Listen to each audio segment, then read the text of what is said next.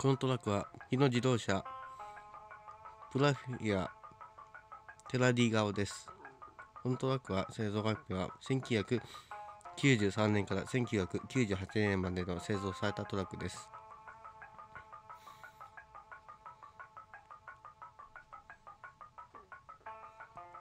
市外はこの顔が減りましたが、都内ももっと減りました。市外は少ししばしば見かけますが、都内ほど見かけるわけじゃないですけど、たまに見かけます。以上です。